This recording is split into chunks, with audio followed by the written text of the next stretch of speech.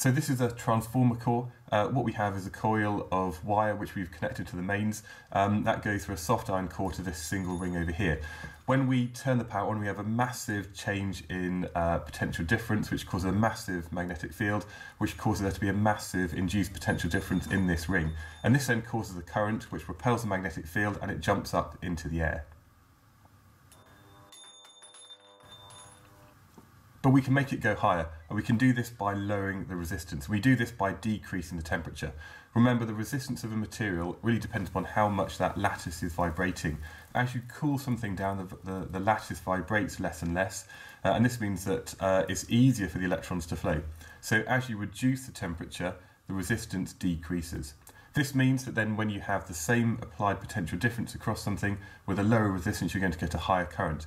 And in this case, when you have a higher current, uh, that means there's a, a greater kind of magnetic field repelling the other magnetic field and it flies off to a greater height.